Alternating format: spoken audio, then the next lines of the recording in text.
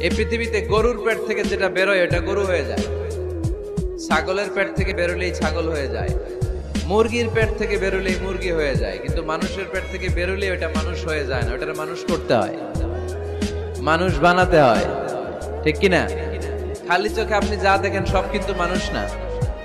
এগুলো জনসংখ্যা। এগুলো কি?